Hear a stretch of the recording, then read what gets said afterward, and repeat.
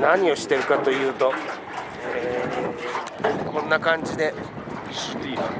湖の船遊びですね。川じゃないんで川下りというわけじゃないんですけども、え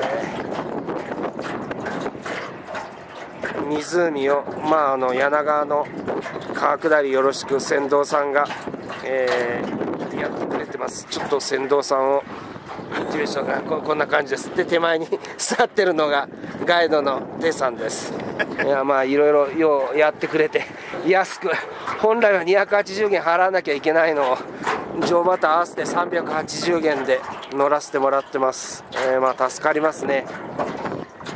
えー、これオフシーズンでこれだけ人が乗ってるのオンシーズンはどうなるんでしょうかね。湖面一面が船で埋め尽くされるんじゃないでしょうか。その時は恐竜は無視される。ああ ららしいです。うちらみたいなのはもう無視される。そりゃそうでしょうね。たたった280元か2800元やったら2800元を取りますよね。えー、あの非常にオフシーズン来るのはいいと思いますね。えー、やっぱ雄大ですねああのああ本当に風が気持ちいいですね。ああおしどりね。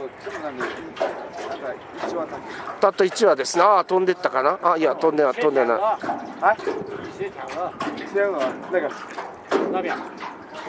おしどりおしどり。飛着飛着啊那里おしどりおしどり。馬の前の方はなんかそれはそれああええー、本当ですか？ああはいはい。ああはいはい見えます見えます。お馬さんもいます。先ほど乗った感じの馬ですね。おガチョウね今今飛んはい。うん。飛んだりなんか休んだりする馬の友達。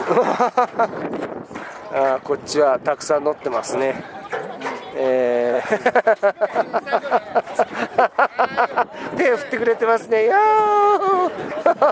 いやいやどこでもいいな。なんか知らんけどモテてます。まあここでは唯一の私は少数民族ですからね。あの絶滅危惧種の大和民族ということで、えー、まあ艦隊を 受けてますね。いやまあ楽しいですわ。